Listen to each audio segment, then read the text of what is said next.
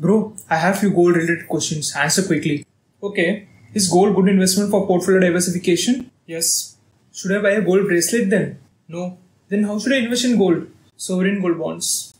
Why sovereign gold bonds? No making charges, no GST, no storage or theft risks, no wealth or capital gain tax. You will also receive 2.5% of interest income every year. Should I go on? No, I understood. I'll invest in SGB now. If you want to know more, check out the newsletter. Link in bio.